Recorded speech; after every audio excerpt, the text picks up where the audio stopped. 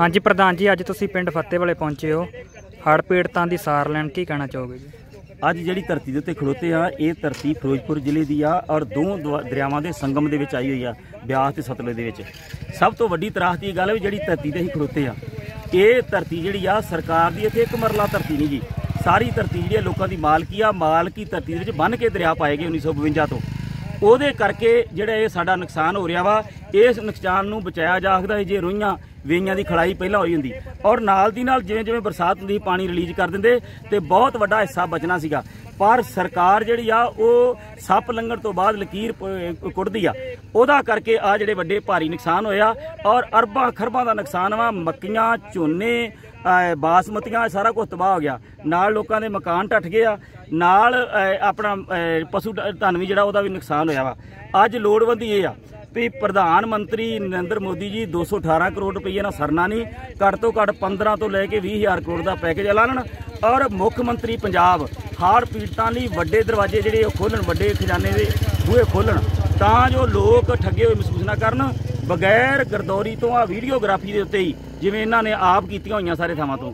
ਲੋਕਾਂ ਨੂੰ 50 50 ਹਜ਼ਾਰ ਮੁਆਵਜ਼ਾ, ਪਸ਼ੂਆਂ ਦਾ ਲੱਖ ਲੱਖ ਰੁਪਈਆ, ਮਕਾਨਾਂ ਦਾ ਜਿਹੜਾ ਜੋ ਬਣਦਾ ਵਾ ਮੁਆਵਜ਼ਾ ਉਹ ਦੇਣ ਤੇ ਅਗਲੀ ਫਸਲ ਦੀ ਤਿਆਰੀ ਵਾਸਤੇ ਫੇਰ ਮਤਲਬ ਇਹਨਾਂ ਨੂੰ ਮਾਇਆ ਦਿੱਤੀ ਜਾਵੇ। ਨਾਲ ਇਹਨਾਂ ਦੇ ਜਿਹੜੇ ਦਰਿਆਵਾਂ ਦੇ ਵਿੱਚ ਰੁੜ ਗਏ ਆ, ਇਹਨਾਂ ਦੇ ਸਮੁੱਚੇ ਕਰਜ਼ੇ ਖਤਮ ਕੀਤੇ ਜਾਣ। ਇਹ ਹਾਲਾਤ ਪੂਰੇ ਪੰਜਾਬ ਦੇ ਨੇ। ਕਈ ਜ਼ਿਲ੍ਹੇ ਇਹੋ ਜਿਹੇ ਹੈਗੇ ਆ ਜਿੱਥੇ ਨੀਵੇਂ ਥਾਂ ਪਾਣੀ ਵਹਿ ਬਰਸਾਤ ਦਾ ਪੈ ਗਏ ਤੇ ਬਹੁਤ ਵੱਡੇ ਨੁਕਸਾਨ ਹੋਇਆ।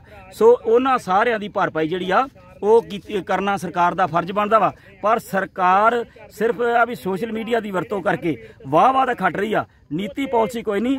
ਇਸ ਟਾਈਮ ਤੇ ਲੋੜਵੰਦੀ ਸੀ ਇਹ ਵੀ ਉਹ ਬੈਠ ਕੇ ਨੀਤੀ ਪਾਲਿਸੀ ਬਣਾ ਕੇ ਪੰਜਾਬ ਦੇ ਕਿਸਾਨ ਨੂੰ, ਪੰਜਾਬ ਦੇ ਮਜ਼ਦੂਰ ਨੂੰ, ਪੀੜਤ ਲੋਕਾਂ ਨੂੰ ਇਹ ਸੰਕਟਮਈ ਸਮੇਂ ਦੇ ਵਿੱਚ ਕੱਢਣ ਦਾ ਉਪਰਾਲਾ ਕਰਦੀ ਕਿਸਾਨ ਆਗੂ ਗੁਰਮੇਲ ਸਿੰਘ ਫਤਿਹਵਾਲਾ, ਕਿਸਾਨ ਮਜ਼ਦੂਰ ਸੰਘਰਸ਼ ਕਮੇਟੀ, ਪੰਜਾਬ ਜ਼ਿਲ੍ਹਾ ਫਿਰੋਜ਼ਪੁਰ ਤੋਂ ਜੀ।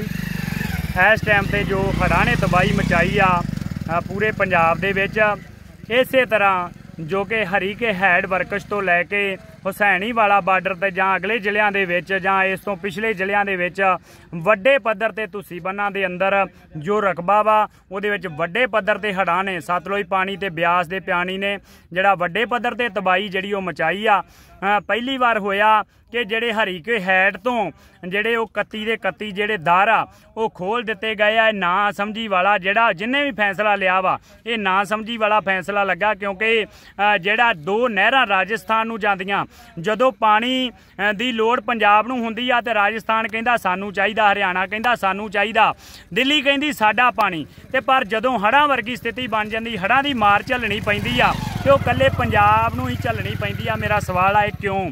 ਤੇ ਅਸੀਂ ਆ ਬੜੀਆਂ ਬੇਨਤੀਆਂ ਕੀਤੀਆਂ ਕਿ ਨਹਿਰਾਂ ਦੇ ਵਿੱਚ ਪਾਣੀ ਛੱਡਿਆ ਜਾਵੇ, ਕਿਉਂਕਿ ਜੇ ਮਿੱਟੀ ਚੜ ਵੀ ਜਾਊਗੀ ਥੋੜੀ ਬਾਦੀ ਤੇ ਸਰਕਾਰ ਵਾਸਤੇ ਮਿੱਟੀ ਕੱਢਣੀ ਕੋਈ ਔਖੀ ਨਹੀਂ ਹੈਗੀ ਸੀ। ਜਿੰਨਾ ਹੜਾਂ ਦੇ ਨਾਲ ਇਹ ਇਲਾਕਾ ਪ੍ਰਭਾਵਿਤ ਹੋਇਆ ਵਾ, ਉਹ ਓਡੇ ਵੱਡੇ ਪੱਧਰ ਤੇ ਕੋਈ ਨਹਿਰਾਂ ਦਾ ਨੁਕਸਾਨ ਨਹੀਂ ਸੀ ਹੋਣ ਲੱਗਾ। ਇਸ ਕਰਕੇ ਆਉਣ ਵਾਲੇ ਸਮੇਂ ਦੇ ਵਿੱਚ, ਸਮੇਂ ਨੂੰ ਧਿਆਨ ਰੱਖਦਿਆਂ ਹੋਇਆਂ ਸਰਕਾਰਾਂ ਨੂੰ ਚਾਹੀਦਾ ਵੀ ਇਸ ਤਰ੍ਹਾਂ ਦਾ ਜਿਹੜਾ ਵਤੀਰਾ ਅੱਗੇ ਤੋਂ ਨਾ ਹੋਵੇ। ਇਹ ਹੜ੍ਹ ਪ੍ਰਭਾਵਿਤ ਏਰੀਆ ਵਾ, ਇਹ ਮਰੇ ਹੋਏ ਲੋਕ ਆ ਕੁੱਬ ਨਹੀਂ ਨਿਕਲਦਾ, ਇੱਕ ਦੋ ਸਾਲਾਂ ਬਾਅਦ ਹੀ ਇੱਥੇ ਜਿਹੜਾ ਵੱਡੇ ਪੱਧਰ ਤੇ ਪਾਣੀ ਆ ਜਾਂਦਾ ਵਾ। 18 19 ਦੇ ਵਿੱਚ ਆਇਆ ਤੇ ਨਾ ਹੁਣ 23 ਦੇ ਵਿੱਚ ਆ ਗਿਆ। ਇਸ ਤੋਂ ਪਹਿਲਾਂ ਵੀ ਜਿਹੜਾ ਆਉਂਦੇ ਰਹੇ ਪਾਣੀ ਲਗਾਤਾਰ। 88 ਦੇ ਵਿੱਚ ਉਹ ਆਇਆ ਸੀ 95 ਦੇ ਵਿੱਚ ਆਇਆ 90 ਦੇ ਵਿੱਚ ਆਇਆ 97 ਦੇ ਵਿੱਚ ਆਇਆ। ਉਸ ਤੋਂ ਬਾਅਦ ਵੀ ਲਗਾਤਾਰ 6 ਦੇ ਵਿੱਚ ਆਇਆ। ਲਗਾਤਾਰ ਪਹਾੜ ਪ੍ਰਭਾਵਿਤ ਏਰੀਆ ਇਹ ਇੱਥੇ ਆਉਂਦਾ ਰਿਹਾ, ਪਰ ਜੋ ਮੌਜੂਦਾ ਹੱਲ ਸਰਕਾਰਾਂ ਨੂੰ ਕਰਨੇ ਚਾਹੀਦੇ ਸੀ, ਉਹ ਨਹੀਂ ਕੀਤੇ ਗਏ। ਮੌਜੂਦਾ ਹੱਲ ਕੀ ਸੀ? ਕਿ ਇੱਥੇ ਜਿਹੜਾ ਇਹਨੂੰ ਨਹਿਰੀ ਰੂਪ ਦਿੱਤਾ ਜਾਂਦਾ 10 ਏਕੜ ਚੌੜਾਈ ਦੇ ਵਿੱਚ ਜਿਹੜਾ ਇਹ ਇਹ ਕਿਸਾਨਾਂ ਦੀਆਂ ਜ਼ਮੀਨਾਂ ਰਿਕਵਾਇਰ ਕਰ ਲਈਆਂ ਜਾਂਦੀਆਂ ਤੇ ਇੱਥੇ ਨਹਿਰੀ ਰੂਪ ਦਿੱਤਾ ਜਾਂਦਾ ਤਾਂ ਜੋ ਥੋੜਾ ਪਾਣੀ ਜਿਹੜਾ ਕਿ ਉਹ ਵੱਡੇ ਪੱਧਰ ਤੇ ਨਾ ਨੁਕਸਾਨ ਕਰਦਾ, ਜਿੱਡੇ ਵੱਡੇ ਪੱਧਰ ਦੇ ਵਿੱਚ ਇਹ ਰਕਬੇ ਦੇ ਵਿੱਚ ਨੁਕਸਾਨ ਹੋ ਜਾਂਦਾ। ਇਹ ਸਾਡੀ ਸੈਂਟਰ ਸਰਕਾਰ ਦੇ ਤੱਕ ਵੀ ਮੰਗ ਆ ਤੇ ਪੰਜਾਬ ਦੇ ਵੀ ਜਿਹੜੇ ਜਿਹੜੀ ਪੰਜਾਬ ਸਰਕਾਰ ਆ, ਉਹਨਾਂ ਨੂੰ ਵੀ ਬੇਨਤੀ ਕਰਦੇ ਆ, ਉਹ ਵੀ ਇਹ ਪ੍ਰਪੋਜ਼ਲ ਭੇਜਣ ਤੇ ਜਿੰਨੇ ਵੀ ਐਮਪੀ ਸਹਿਬਾਨ ਆ, ਜਿਹੜੀ ਮਰਜ਼ੀ ਪਾਰਟੀ ਦੇ ਆ ਪੰਜਾਬ ਦੇ, ਉਹਨਾਂ ਨੂੰ ਬੇਨਤੀ ਕਰਦੇ ਆ ਕਿ ਭਾਈ ਸਾਡੀ ਆ ਮੇਨ ਸਮੱਸਿਆ ਨਹਿਰੀ ਰੂਪ ਦਿੱਤਾ ਜਾਵੇ। ਉਸ ਤੋਂ ਅੱਗੇ ਜਿਹੜੀ ਸਮੱਸਿਆ ਹੈਗੀ ਆ, ਪੰਜਾਬ ਸਰਕਾਰ ਨੂੰ ਬੇਨਤੀ ਕਰਨਾ ਚਾਹੁੰਦੇ ਆ, ਨਾ ਝੋਨੇ ਝੋਨਾ ਬਚਿਆ, ਲੋਕਾਂ ਦਾ ਨਾ ਮੱਕੀ ਬਚੀ, ਨਾ ਸਬਜ਼ੀਆਂ ਬਚੀਆਂ, ਨਾ ਹਰਾ ਚਾਰਾ ਬਚਿਆ ਵਾ। ਇਹ ਵੱਡੇ ਪੱਧਰ ਤੇ ਇਹ ਨੁਕਸਾਨ ਫਸਲਾਂ ਦਾ ਹੋਇਆ ਵਾ। ਨਾਲ ਘਰਾਂ ਦਾ ਨੁਕਸਾਨ ਹੋਇਆ, ਘਰਾਂ 'ਚ ਤਰੇੜਾਂ ਪੈ ਗਈਆਂ, ਘਰ ਢਹਿ ਗਏ ਨੀਵੀਆਂ ਥਾਵਾਂ ਵਾਲੇ। ਉਹਨਾਂ ਦੇ ਵਸੇਬੇ ਦਾ ਪ੍ਰਬੰਧ ਕੀਤਾ ਜਾਵੇ। ਨਾਲ ਜਿਹੜੀਆਂ ਸੜਕਾਂ ਡੈਮੇਜ ਹੋਈਆਂ, ਹੁਣ ਤੁਰੰਤ ਜਿਹੜੀਆਂ ਉਹ ਉਹ ਡੈਮੇਜ ਕੰਟਰੋਲ ਕਰਕੇ ਆਵਾਜਾਈ ਸ਼ੁਰੂ ਕੀਤੀ ਜਾਵੇ।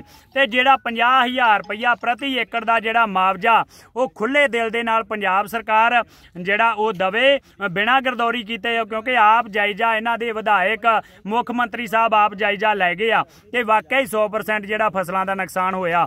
ਇਸ ਤੋਂ ਅੱਗੇ ਸਮੁੱਚਾ ਕਰਜ਼ਾ ਹੜ ਪੀੜਤਾਂ ਦਾ ਜਿਹੜਾ ਉਹ ਮਾਫ ਕੀਤਾ ਜਾਵੇ। ਆਬਾਦਕਾਰ ਕਿਸਾਨ ਉਹਨਾਂ ਨੂੰ ਪੱਕੇ ਮਾਲਕੀ ਹੱਕ ਦਿੱਤੇ ਜਾਣ। ਦਰਿਆਈ ਬੈੱਡ ਦੇ ਵਿੱਚ ਬੜੇ ਵੱਡੇ ਆਬਾਦਕਾਰ ਕਿਸਾਨ ਜਿਹੜਾ 30 30 35 35 ਸਾਲ ਜਾਂ ਪੁਰਖਿਆਂ ਤੋਂ ਬਾਅਦ ਜਿਹੜੀਆਂ ਜ਼ਮੀਨਾਂ ਆਬਾਦ ਕੀਤੀਆਂ, ਉਹ ਕੱਚੀਆਂ ਪਈਆਂ ਜਾਂ ਪ੍ਰੋਸੈਸ ਦੇ ਵਿੱਚ ਰਹਿ ਗਈਆਂ। 2007 ਪਾਲਿਸੀ ਵਾਲੀ ਜਿਹੜੀਆਂ ਜ਼ਮੀਨਾਂ ਉਹ ਤੋੜ ਦਿੱਤੀਆਂ ਗਈਆਂ ਕਿਸਾਨਾਂ ਦੇ ਨਾਂ ਤੋਂ ਤੇ ਜਾਂ ਉਹ ਜਿਹੜੀਆਂ ਬਹਾਲ ਕੀਤੀਆਂ ਜਾਣ, ਉਹ ਵੀ ਜ਼ਮੀਨਾਂ ਨਾਲ ਜਿਹੜੀਆਂ ਗਰਦੌਰੀਆਂ ਤੋੜ ਦਿੱਤੀਆਂ ਗਈਆਂ।